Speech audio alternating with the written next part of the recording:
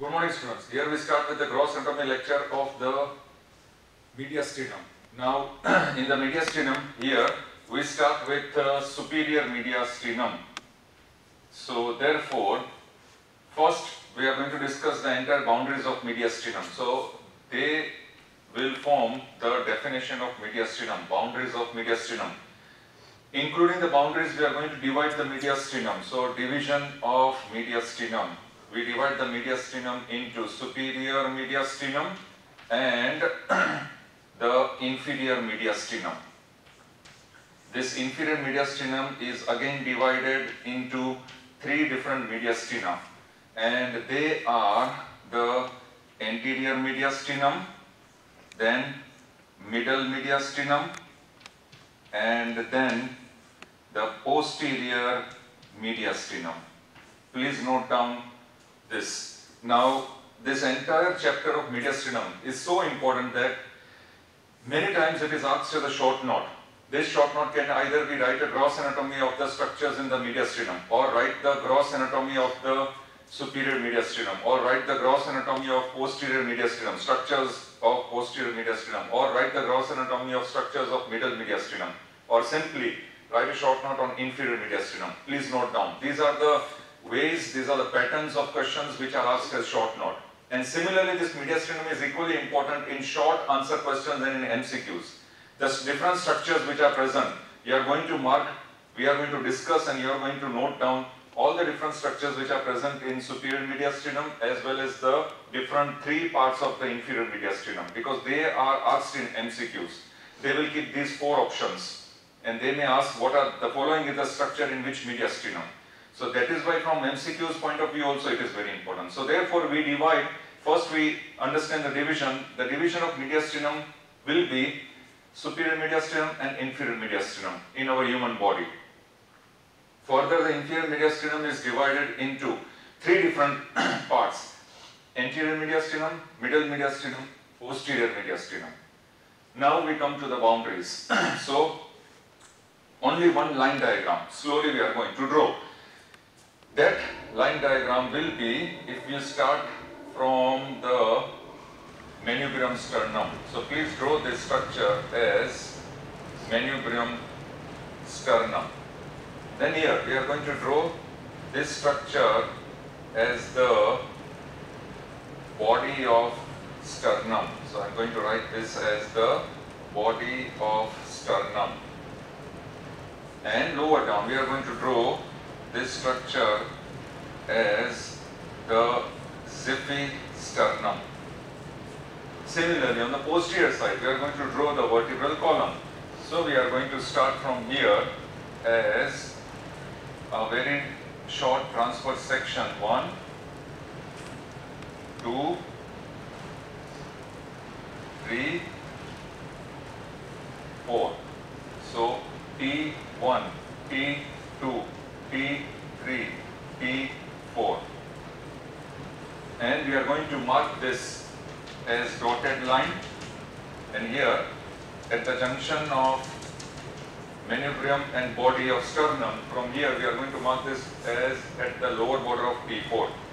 These are the two horizontal lines which we are going to mark. First upper border of manubrium till T1 and then we are going to extend from the junction between manubrium and body of sternum which is called sternal angle. So this will be known as sternal angle. From the junction between manubrium and body of sternum, sternal angle, another horizontal line till the lower border of T4. This is the line. And then gradually we are going to mark from there onwards, we are going to mark the respective thoracic vertebrae such as T5, T6, T7, then T8, T9, T10, then T11, and then T12. In this way, we are going to mark this and therefore these are the entire thoracic vertebral column and we are going to mark here this is how the diaphragm will be located. So this is the line diagram in sagittal section left lateral view. Sagittal section left lateral view we have marked the sagittal section of the entire sternum and the sagittal section of the thoracic vertebral column. Very simple. This is the sloping surface of the diaphragm. Now, in the boundaries of mediastinum, definition, mediastinum is a space which is present between the two pleural sac, right pleural sac and the left pleural sac. In between these two pleural sac, there is space which is called mediastinum and this mediastinum is bounded on either side by mediastinal pleura. Please note down these two sentences. Once again I repeat, mediastinum is a space between the two pleural sacs, right and left pleural sac. And similarly, the mediastinum, the space is bounded on either side by mediastinal pleurae. Very simple, no confusion. Now, further, this mediastinum will be divided into two basic subdivisions, superior and inferior mediastinum by a transverse line, horizontal line extending from sternal angle till lower border of T4. As this imaginary transverse line is passing from sternal angle to lower border of T4, it divides the entire mediastinum into superior mediastinum, inferior mediastinum. So therefore, this becomes our superior mediastinum and this becomes our inferior mediastinum. Now, this mediastinum, the entire boundaries of the mediastinum, if you consider both the mediastina together, superior and inferior, what are the boundaries? The boundaries will be anteriorly, it is bounded by sternum. Posteriorly, it is bounded by the 12 thoracic vertebrae, including intervertebral disc. Superiorly, it is bounded by thoracic inlet. Inferiorly, it is bounded by the diaphragm. Either side, right and left, on either side it is bounded by the right pleural sac and left pleural sac, that is mediastinal pleura. On the right side mediastinal pleura, on the left side mediastinal pleura. So these are the boundaries of the mediastinum. How it is divided? Simple. Imaginary line passing from sternal angle to lower border of T4 into superior and inferior mediastinum. Clear? So one superior mediastinum, one inferior mediastinum. Now, this inferior mediastinum is once again divided by the, it is once again divided by pericardium. So if I draw the pericardium, this is the pericardium. So therefore, this pericardium, if I draw this outline of pericardium and heart, so this is the heart, pericardium occupying the heart in inferior mediastinum. It will divide into the it will divide the inferior mediastinum into three different mediastina. The space which is present here, where my hand is there, in between sternum and pericardium will become anterior mediastinum. The space occupied by pericardium and heart becomes middle mediastinum where my hand is there. The space which is present behind the pericardium, behind the heart, in front of lower 8 thoracic vertebrae. Lower 8 thoracic vertebrae, 1, 2, 3, 4, 5, 6, 7, 8. And in front pericardium heart. So this space, posterior mediastinum. So this way the inferior mediastinum is divided into anterior mediastinum, middle mediastinum and posterior mediastinum. So here we finish our basic anatomical boundaries, definition and subdivisions of mediastinum. Now comes two important points. Basically mediastinum is occupied by structures, so many structures. But there are two places in the entire mediastinum where it is not occupied by any structure. So in these two places, the right and the left pleural sac the right and the left pleural sac will come in apposition with each other. What are those two points? What are those two places? They may be asked in one mark question answer. They are, for example, first, please note down the area between sternal angle and around here fourth costal cartilage. We know sternal angle is present at the level of second costal cartilage. So the area between the sternal angle and the fourth costal cartilage, just behind the body of sternum, this much area, it will not have any structure, so therefore it will be occupied by apposition of the right and left pleural sac. The right and left mediastinal pleura will come in apposition with each other. That is one place. And that place will be in between the sternal angle and the fourth costal cartilage behind the body of sternum. Second important place will be at this level, at the level of T8 and T9, where the esophagus will cross the descending thoracic aorta. So therefore, if I draw here the descending thoracic aorta, if I draw in this direction, this is the descending thoracic aorta. So here we are going to color this descending thoracic aorta and then we are going to show and here I am going to show this aorta in this way arch of aorta and then if I show the esophagus this esophagus which is coming from above and here this is the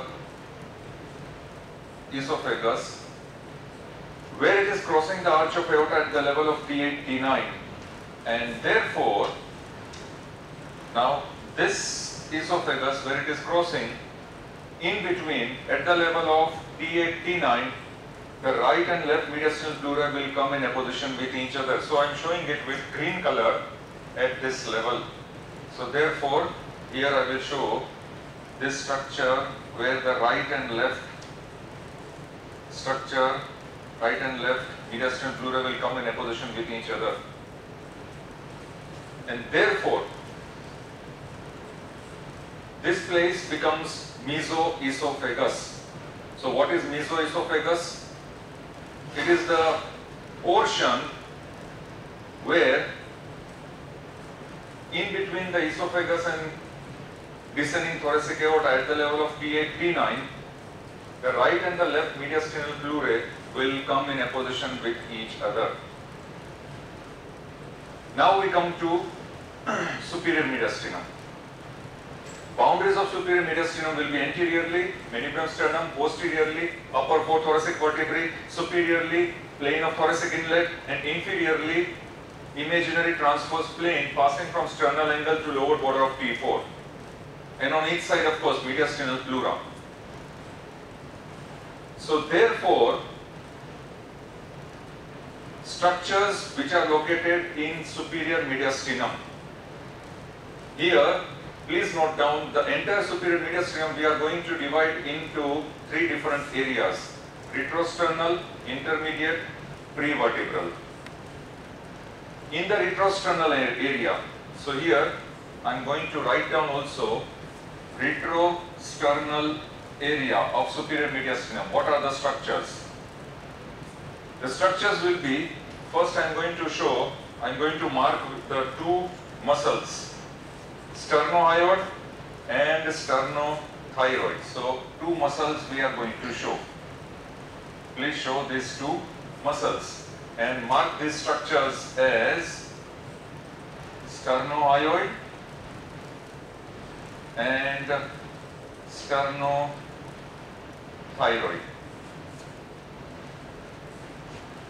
Then second structure will be, there will be location of, here you show just one structure and that will be thymus gland. So therefore, the second structure will be location of thymus gland. Remember these are the retrosternal structures, retrosternal structures present in superior mediastinum. And then comes very important venous structure. And that venous structure will be here. There will be joining of two brachiocephalic vein. So please draw these two brachiocephalic vein. These two brachiocephalic vein will join and form superior vena cava. So this is how superior vena cava is formed. So third structure will be, here you mark down, in the third structure, we show it in this way, these two veins. That means the right and left brachiocephalic vein. Right and left brachiocephalic vein. Fourth structure, upper part of upper part of superior vena cava. And fifth structure, left superior intercostal vein. And that left superior intercostal vein you can show in this direction. Left superior intercostal vein. So here also you mark this structure as left superior intercostal vein. These are the structures of superior mediastinum in the retrosternal space. Please note down, these structures are really very important. What are the structures in the retrosternal space in the superior mediastinum? They are two muscles, sternohyoid, sternothyroid. Second, thymus gland. Third, right and left brachiocephalic veins. Fourth, upper part of superior vena cava. And fifth, left superior intercostal vein. Now we come to intermediate part. Why we have divided this superior mediastinum into retrosternal, intermediate and prevertebral for the sake of simple understanding. So therefore, in the intermediate part, we have finished the structures of the retrosternal. Now intermediate part, there will be three branches of arch of aorta, the three main divisions of arch, of, arch of aorta, that is how you have to remember. And those three main divisions will be number one, brachiocephalic, number two, the left common carotid, number three, the left subclavian. So these three branches, brachiocephalic, then left common carotid and left subclavian.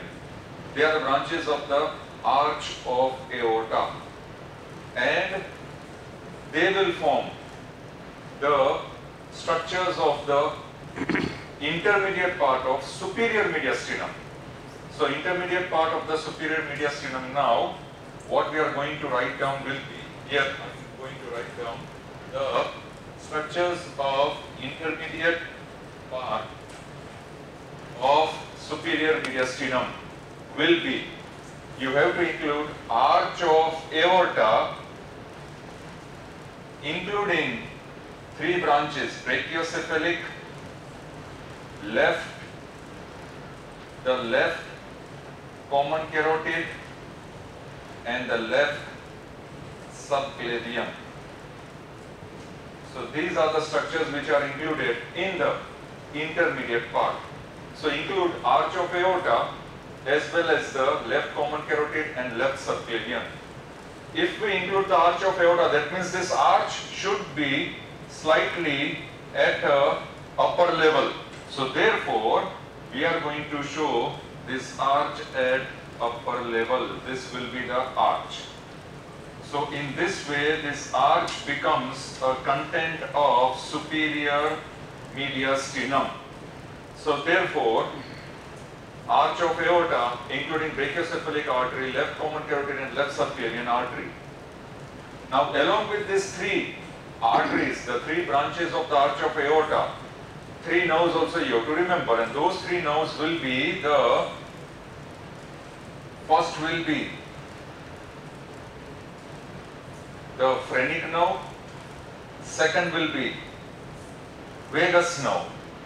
So here you show this as phrenic as well as vagus nerve. So the first nerve will be phrenic nerve and the second nerve will be vagus nerve. Phrenic will always go anterior to the lung root. If we draw the lung root at this point, there will be this root of the lung. So phrenic will go in front of the lung root and vagus will go behind the lung root. In between phrenic and vagus nerves, there will be cardiac nerves. Cardiac nerves. So here, these are the again contents of intermediate part of superior mediastinum where you mention phrenic nerve, vagus nerve, phrenic nerves, vagus nerves and cardiac nerves. Here, this much we finish the intermediate part of superior mediastinum. Once again, the intermediate part of superior mediastinum contains the arch of aorta, including the brachiocephalic trunk, the left common carotid, left subclavian arteries, and the nerves, phrenic nerve, cardiac nerves, sorry, phrenic nerves, vagus nerves, and cardiac nerves. Now we come to prevertebral portion, prevertebral portion of superior mediastinum, where we encounter three tubular structures, and those three tubular structures will be, if I draw here, with yellow color or rather yellow I will draw this with orange color. So with orange color if I draw then this structure which is present here will be the trachea. So draw the trachea in front of esophagus trachea second is esophagus and third structure will be where you show this tubular structure that will be thoracic duct. So this is the third structure where we show this as thoracic duct. In between trachea and esophagus left recurrent laryngeal nerve and so we show this as left recurrent laryngeal nerve. Here we show this in upward arrow And fourth structure, the last and the fourth structure will be few fibers of longus colli muscle till the level of T3. Few fibers of longus colli muscle which we have drawn over there. These are the few fibers of longus colli muscle. And so, therefore, we are going to name them as structure number one, trachea, structure number two, esophagus, structure number 3, thoracic duct, structure number 4, left recurrent laryngeal nerve, and structure number 5, longus colli muscle. These are the structures which are located in the prevertebral portion of the superior mediastinum. So superior mediastinum we have finished. Once again, very fast I am going to name the structures present in superior mediastinum. we go from retrosternal. So retrosternal, intermediate and prevertebral. These are the three regions of superior mediastinum and the structures present will be sternohyoid, sternothyroid muscles. Then there will be presence of thymus gland. Then there will be the right and the left brachiocephalic veins which will open into upper part of superior vena cava. So upper part of superior vena cava is included. And then there will be the left superior intercostal vein. Then the structures which are present in the intermediate part, arch of aorta including brachiocephalic trunk, left common carotid artery, left subclavian artery. Along with that the nose, phrenic nose, vagus nose and the cardiac nerves. Then the structures which are present in the prevertebral portion of the superior mediastinum. They are the tubular structures. Remember it, trachea, esophagus, thoracic duct, left recurrent laryngeal nerve and few fibers of longus colli muscle. So this entire zone, right from retrosternal till prevertebral, see all the structures are present, all the structures we have drawn with simple line diagram. And that simple line diagram, if you remember it in this sequence, it is very easy to remember the structures present in entire superior mediastinum. So here we end our superior mediastinum.